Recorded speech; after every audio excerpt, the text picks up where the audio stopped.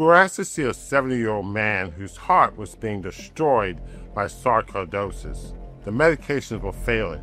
He came to us for help. See what happened next.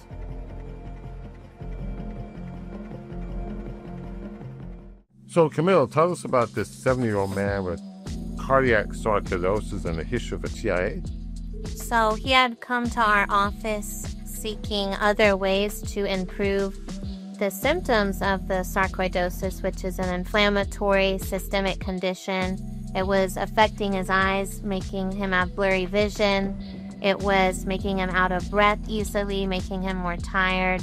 And he'd already tried steroids, which are often prescribed for systemic sarcoidosis, but those weren't alleviating his symptoms enough. And in fact, they're causing a side effect, causing all this hyperpigmentation on his skin.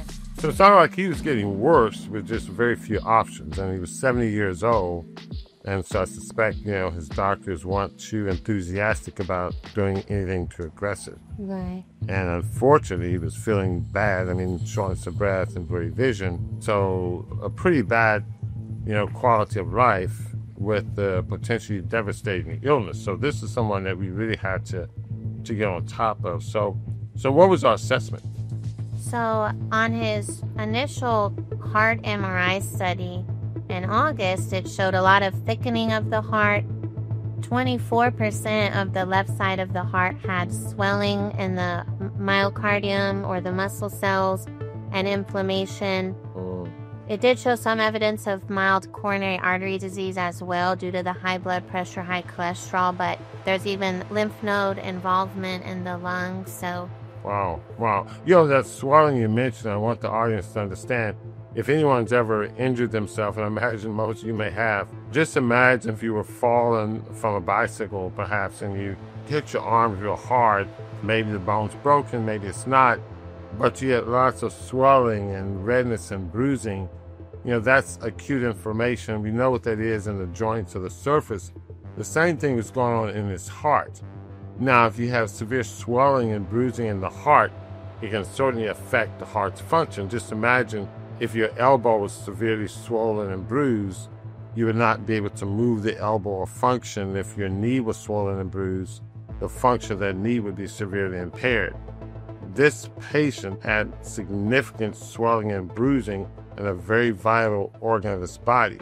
And so you can only imagine, you know, why he was having some of the symptoms because the heart itself was bruised and its function was impaired. So that, those are pretty significant findings. So he had high inflammation, and as you know, he was being treated with steroids, which is typically what we do in standard medicine to treat someone with lots of inflammation. Steroids and anti-inflammatory medication, a pretty powerful anti-inflammatory medication at that. But he continued to have symptoms and problems and side effects to the steroid despite this treatment. So there are other approaches that can be taken that, in my opinion, are more powerful anti-inflammatory approaches. So what was our approach? We told him he needed to eat a lot cleaner than he was. He'd kind of tried the plant-based here and there over the years, but we'd only did 50%. So I got him to increase his plant-based eating. It took 75, 80%. You know, we I kept trying to encourage him, and he did make some improvement there. And I think what helped him stay like that was he noticed he started to feel better. Hmm. But I knew he needed a little extra help, so we recommended serrapeptase, which is an enzyme that helps break down inflammatory tissue.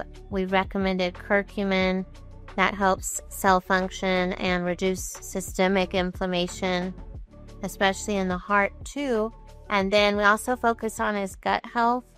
And so we did a supplement that helps clear out bad pathogens in the gut, like a grapefruit seed extract, and then some probiotics to restore the good bacteria to help them absorb the nutrients from the healthy food so his cells could actually work more efficiently. Well, you spoke volumes. First of all, the nutritional regimen. And as you said, he wasn't quote unquote perfect, certainly didn't meet our ideal status, but He's increased the amount of plant foods, clean plant foods, significantly in his diet, which I think went a long way to help improve his uh, overall well being. Plant foods do a number of things that have anti-inflammatory effects. You talked about gut health, which I'll talk about in a minute. It also enhances gut health. It feeds good bacteria. The targeted supplementation, oftentimes people just take supplements randomly. We use supplements, but we don't just give supplements just randomly. We, we try to use them in a target fashion because, you know, again, they have their place, but they're not perfect. And I like your choice of serrapeptase and liposomal curcumin um, because those work very well together and have a very powerful anti-inflammatory effect. It's my opinion that chronic illnesses rest on three major pillars. One is chronic inflammation. Two is increased oxidative stress. Inflammation I like to describe as a biochemical fire. Your cells and tissues are like on fire, things are in disarray. Oxidative stress is a, a phrase you use to mean that there's excess toxic chemicals floating around your body that's causing damage. Just think of oxidative stress like hazardous chemical, biochemical substances floating around. And then the third one, which may be the foundation to the other two, is an abnormal microbiome or poor gut health.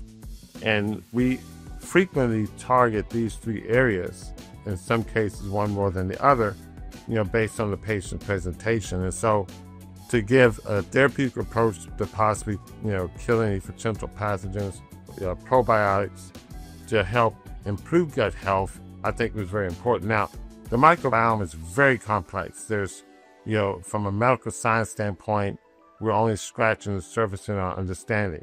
So I'm not going to pretend to say that, you know, our treatment there is very precise. But we found this approach to be helpful in general to use a plant-based diet, which evidence shows help the microbiome, a little bit of a probiotic, and then something to treat some common pathogens that we see, and that tends to be a very helpful baseline. The other important point to understand is that the regimen that you started him on has a synergistic effect. So we talk about the anti-inflammatory effects of food, the anti-inflammatory effects of the serrapeptase, the anti-inflammatory effects of the liposomal curcumin, the anti-inflammatory effects of healing the gut, but they're working simultaneously and it's not in an additive form, but I think it's probably creating like an exponential effect as opposed to just giving a steroid. There's only one effect that may or may not work, and he had adverse effects to that. So, how did he do? What, did, what were our follow up? I mean, he did great. His energy level shot up, and he was able to exercise more. He wasn't getting out of breath with basic activities. Even his vision got better as well. And when we redid that study to assess the sarcoidosis, there was no more edema or swelling in the heart muscle. The inflammatory markers went down. So, and that was only in like two months. Two months. Yeah. So, not two years, not 10 years, just two months. Mm-hmm. Again, the powerful effects of these interventions that work synergistically, not only they're more effective, but they're more effective in a much more rapid way and the patient gets better, not worse. You know, the adverse effects of this therapy is that the patient feels better. The adverse effects of the steroids is hyperpigmentation and failure of therapy. So it's it's really quite interesting how the body can turn itself around when it's positioned in the right way with the right type of intervention. So I hope this was helpful to you. And uh, again, as usual, if you have any questions or comments, leave them in the comment section. Our team will love to get back with you. Until the next video, take care. Thanks for watching. If you got value out of this video, please like it, subscribe, and hit the notification button to see our next show.